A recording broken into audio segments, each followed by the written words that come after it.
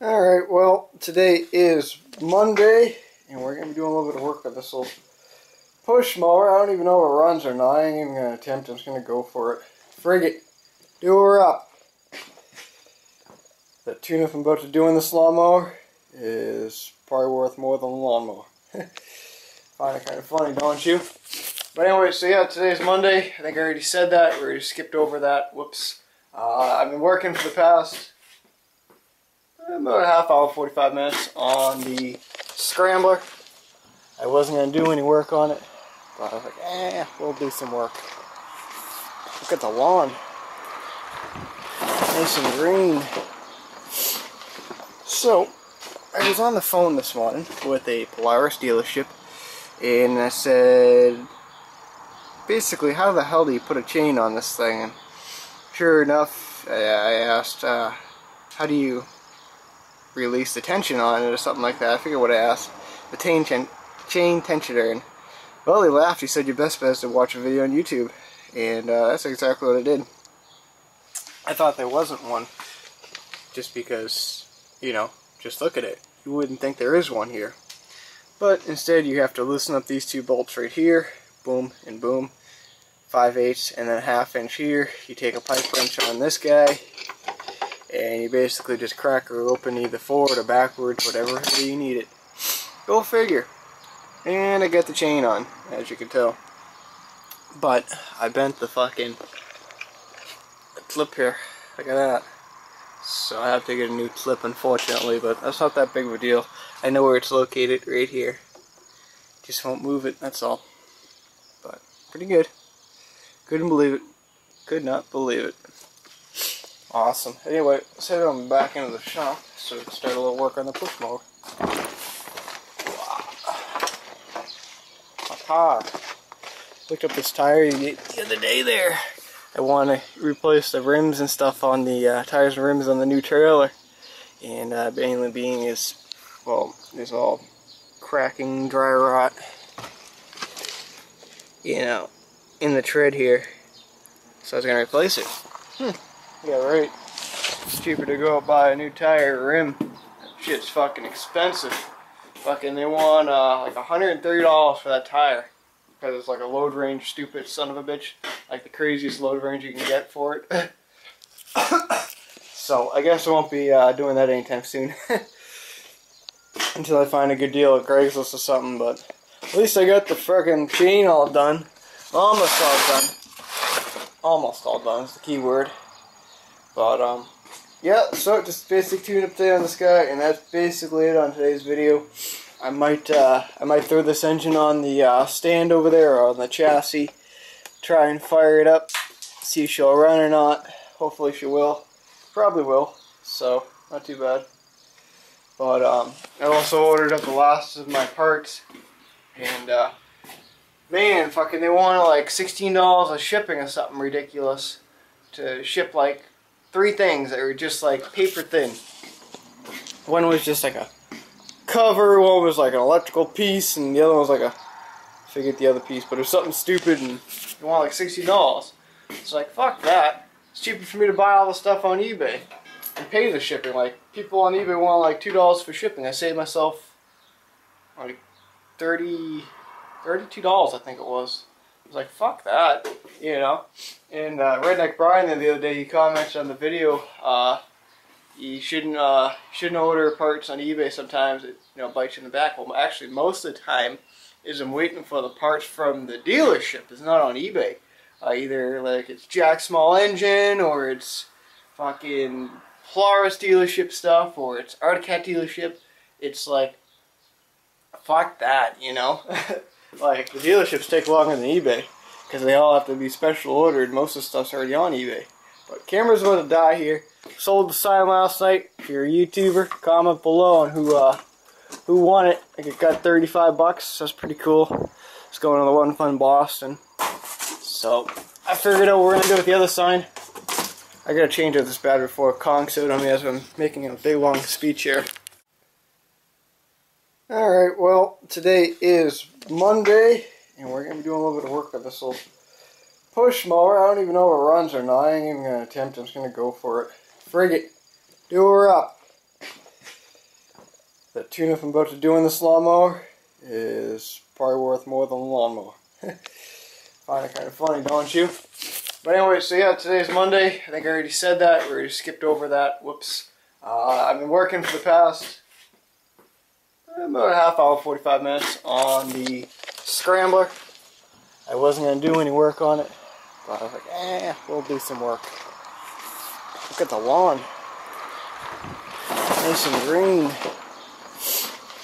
So, I was on the phone this morning with a Polaris dealership, and I said, basically, how the hell do you put a chain on this thing? And sure enough, I, asked, uh, how do you release the tension on it or something like that? I figured what I asked. The chain, chain, chain tensioner. And, well, he laughed. He said, your best bet is to watch a video on YouTube. And uh, that's exactly what I did. I thought there wasn't one. Just because, you know, just look at it. You wouldn't think there is one here. But instead you have to loosen up these two bolts right here. Boom and boom. 5 eighths and then a half inch here. You take a pipe wrench on this guy. And you basically just crack her open either forward or backwards, whatever you need it. Go figure. And I got the chain on, as you can tell. But I bent the fucking clip here. Look at that. So I have to get a new clip unfortunately, but that's not that big of a deal.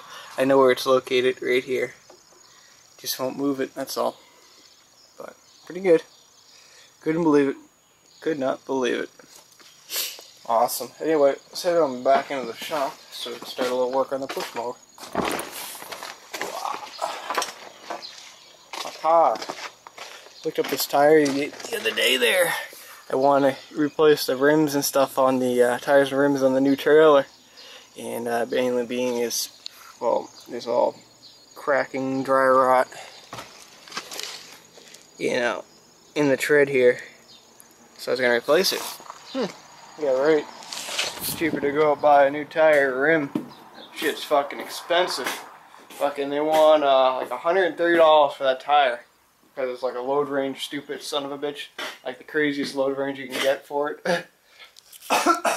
So I guess I won't be uh, doing that anytime soon. Until I find a good deal at Craigslist or something but at least I got the freaking chain all done. Almost all done. Almost all done is the key word but um yeah so just basic tune up today on this guy and that's basically it on today's video I might uh, I might throw this engine on the uh, stand over there or on the chassis, try and fire it up, see if she'll run or not. Hopefully she will. Probably will. So not too bad. But um, I also ordered up the last of my parts, and uh, man, fucking they wanted like sixteen dollars of shipping or something ridiculous to ship like three things that were just like paper thin. One was just like a cover, one was like an electrical piece, and the other one was like a, I forget the other piece, but it was something stupid, and you want like $60. It's like, fuck that. It's cheaper for me to buy all the stuff on eBay and pay the shipping. Like, people on eBay want like $2 for shipping. I saved myself like 30 $32, I think it was. Was like, fuck that, you know. And uh, Redneck Brian the other day, he commented on the video, uh, you shouldn't uh, shouldn't order parts on eBay. Sometimes it you know bites you in the back. Well, actually, most of the time is I'm waiting for the parts from the dealership. It's not on eBay. Uh, either like it's Jack Small Engine or it's fucking Polaris dealership stuff or it's Arctic Cat dealership. It's like fuck that, you know. like the dealerships take longer than eBay because they all have to be special ordered. Most of the stuff's already on eBay. But camera's going to die here. Sold the sign last night. If you're a YouTuber, comment below on who uh, who won it. I got 35 bucks. That's pretty cool. It's going on the One Fun Boston. So I figured out what we're gonna do with the other sign. I gotta change out this battery before Kong so on me as I'm making a big long speech here. Alright, battery's all changed out. So basically, we're gonna be giving away the other side, and I finally figured out what we're gonna do. You guys are gonna guess in the comments below once I'm all done with the quad, getting her out on the trail, so you're going to guess how much I'm into it total. So I figured that would be a good little, uh, good little test. I haven't even really even added it up yet. I'm just guessing. So it's it's somewhere in the ballpark of my area. I'm hoping. Hopefully it's not in like the 1600s, because that would just really suck, and I'd be really pissed, and I'd be like, fuck it, I'm selling it, you know? I could have bought a Yamaha fucking blaster for a thousand bucks. then again, it is a piece of Yamaha shit, you know? But, um, yeah, so we're gonna do that probably, uh, once I get everything all settled away. So the other sign there, not this one, because that one's already gone. Not this one, because it's all fucked up. But this one right here. Boom! Here's the next sign, boys. So pay attention on some of the parts I, uh, I've been putting on to this. You might want to go back and watch a couple of videos. I might have already said some prices and stuff like that. So, but then again, I didn't tell you the, how much it cost me today to order parts. so, anyway, that's in the future project. Or not the future project, but the future video, I guess. Um, also, I think I might have figured out how to use iMovie. So we're going to attempt it tonight. I'll give it a shot, see what happens. If not, then the video will go up tomorrow morning. So if it's up, if the video is up tonight, then we had good luck with uh, iMovie. If not, then it'll be up tomorrow morning, and then we had some shit luck with the iMovie. So we'll have to wait and see. But anyway, enough talking. Let's get working. Ah, oh, crap. What do we got going on here? Son of a bitch. Cleaning time. Cleaning up the shed. As you can see, I finally got the uh, rototiller in here and the plate compactor. I've been dying to put the stuff in here for quite some time. I just had to remove some stuff. Friggin' uh, Mustang head there. Holy. Anyway, so I finally got the place cleaned up a little bit so I can at least put my rototiller, my plate compactor in here, and I moved the Hahn around for a little bit. I was gonna take it out, try and get it running, but I just ain't got the time today. I gotta go out a little bit here. It's looking pretty good. I think it needs a layer on that tire, I noticed. It's not too, too bad. Whatever. I get the uh, Wheel Horse 500 sitting out there and a few other stuff I'm just moving around. Not too bad. And the back, check with this little mouse home. Ain't that the most greatest little mousy home you ever seen? Ain't that something? Making scrap metal corner bigger. If you can tell. Awesome. Alright, so I've been working out in the yard for the past like three hours or something ridiculous, just weeding and stuff like that. I'm beat. It's like 86 out or something ridiculous like that, so Damn, I think it's almost time to put that air conditioner in the window, hopefully. Hopefully we don't have any problem with this one. I finally get that other one. That piece of shit air conditioner. Remember that thing I always used to swear at it last year? Yeah, I, I scrapped the sweary one, you know. So I got that one and I'm hoping it'll fit in this window. I'd like to put it in this window rather than that window because it's just so blocked off. I'm hoping it'll fit. Keyword is hoping. So I'll have to try that maybe this week. But uh, yeah, so I just pulled this chassis in here. This is one we chopped up last week. And I'm going to actually uh, throw that engine on that chassis just so I can... Ooh, sorry about that, I just burped. Uh, test it out, see if it'll fire up, see how she'll run. And hopefully everything will check out pretty good. So, keyword hoping. Crisscross fingers. you know, I'll have to hook up obviously if fuel tank to it, but you know, the basic stuff. We'll give her a shot, see what happens. Alright, well I just pulled something pretty damn stupid. Uh, yeah, so I, I mounted the motor on the chassis here, and uh, I've been working on this thing now. I said last time it was 5 o'clock, it's now 4.42, so for 42 minutes now I'm working on this. And uh, I, I'm completely baffled until the point I just figured out what's, what's going on here. So, I'm trying to get the thing running. It's not running off with the fuel tank. I, I, made up a little fuel tank here, and then I'm like, all right, well, I use a little starting fluid, try and get her going, nothing. And I'm like, all right, well, try a little carb and choke cleaner. Maybe it's a little bit stronger, nothing. And I'm like, all right, well, maybe the valves are off. I, I've adjusted the valves twice on each side. Actually, three times on this side, and then twice on this side.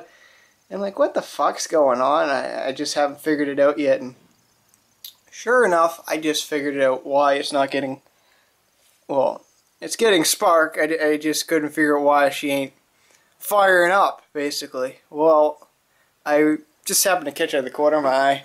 I have the throttle wide open, basically, right now. I need to get power to the solenoid. Oops. So I gotta, I don't know, I'll have to put this on a different chassis. Maybe I might be able to try and get this thing going.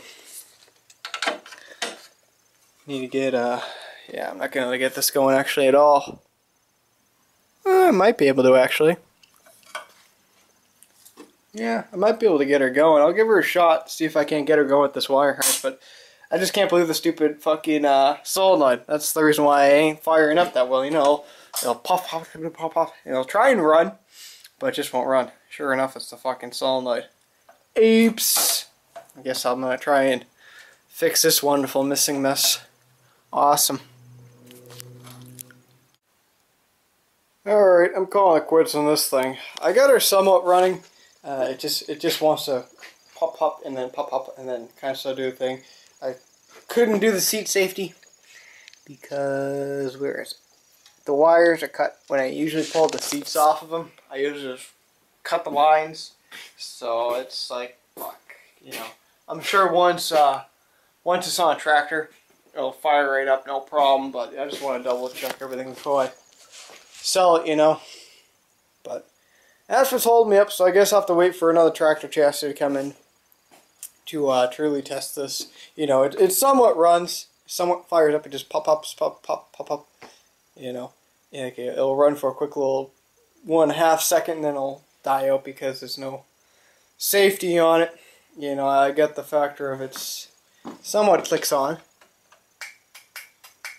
You know, I'm sure you guys can hear that, but it's, it's the engine getting killed because there's no nobody sitting in the seat. is not recognizing the seat safety, so that sucks. But anyway, that's what I got going on. Uh, I think we're on the video here. Uh, tomorrow I'm going to take a run to the scrap scrapyard just to get rid of that chassis and a few other chassis I got. I got a whole pile full. I should have, you know, maybe at least like 80 bucks worth of scrap metal. And um, that's basically it. So, yeah. And then uh, later on in the week, I'll, well, I don't even know if I'll do it later on the week. I got to pick up two Craftsmans, but I don't think I'll be picking them up this week, maybe next week. I got a lot of stuff. I got the trailer I got to work on tomorrow. I'm going to run over the trailer. Maybe do a little bit of wiring on it. Uh, just get the wiring set. And what else? Maybe paint it. Maybe. Kind of. I don't know. A little Rust-Oleum black. Uh, it depends how much time I get tomorrow. So whatever. But I don't know if there'll be a video tomorrow. If there is, I'll be surprised. If not, whatever. Maybe I'll do a video on the uh, scrambler, doing the brakes. I got the brake pads in. I'm trying to think what to do with them right here. These are the, uh, uh, son of a bitch. Are you fucking kidding me? Oh, I fucking hate it when people do this. I just realized something. This is like the most stupidest thing people do on eBay. And it's a complete fucking scam if you ask me. I bought this set of brake pads on eBay. There better be two sets in here. Or I'm gonna be pissed. Happened once before too. Okay, good. There are two sets. Whew. Had me freaking the fuck right out. I was thinking that there was only like one of these in the entire case. So luckily there is two. So there is enough to do the front hole brakes. Looks like there's like only one there, doesn't it? That's why I got nervous. Because it happened once before. Is I bought brake pads for the uh, bought brake pads for my which one was it? I think it was a ZR700 just this winter.